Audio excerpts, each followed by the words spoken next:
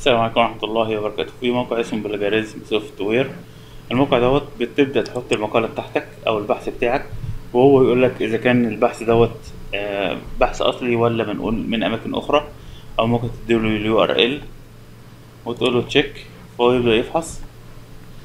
تمام؟ آه، بيديك إن أنت نسخة free بس تسجل تعمل تسجيل ويقول لك report يقول لك آه، بنسبة قد إيه المقالة دي متاخدة من مقالات أخرى.